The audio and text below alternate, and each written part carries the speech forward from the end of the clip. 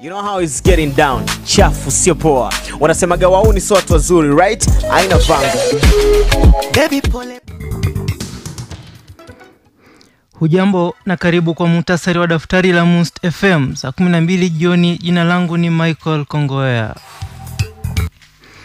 Ripoti ya pamoja ya EACC na UN imefichua jinsi wafisadi katika wizara ya afya, magavana, madiwani na wanasiasa wengine wamekuwa wakigawana kandarasi kununua vifaa duni vya matibabu na kusababisha mamilioni ya Wakenya kukosa huduma na dawa katika hospitali za umma.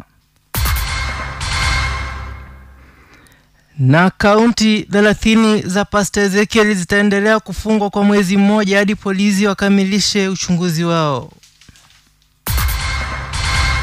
Wakazi katika eneo bunge la Aldai wamemshutumu mbunge wao Mary Ann Kitan kwa kusambazia shule vitabu vikiwa na jina za picha zake. Mwisho wa siku, wakazi hao wamekataa vitabu vyenye picha ya mbunge huyo. Masaibu ya Mukumu Girls yaendelea huku wanafunzi ishirini na nne wakilazwa hospitalini. Washukiwa wa uvamizi wa kituo cha redio kusalia seli. Kamati ya mazungumzo yapi, yapiga hatua huku uundaji wa IBC sasa ukianza. Nayo Kupeti ataka serikali waongeze mishahara. Na kwenye upande wa spoti nitakuletea habari za ndondi za dunia za kinadada kufanyika nchini Kakashtan, huku Mkenya mwingine akila pufya. Hatimaye ni funga kazi Sevilla ikialika Juventus katika Europa League.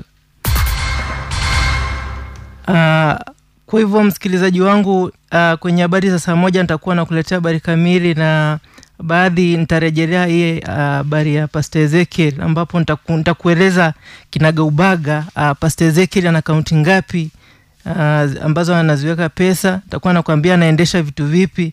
Uh, nitakuwa nakwambia kabla ya uchunguzi kuisha anataka akaunti ngapi zifunguliwe. aa, na nitakuwa nakuambia ukubwa wa kanisa lake. aa, na nitakuwa nakuambia anasaidia wanafunzi wangapi kwa ujumla. Kwa hivyo usikose kujiunga nami mwanahabari wako Michael Kongoya hapo saa moja kamili.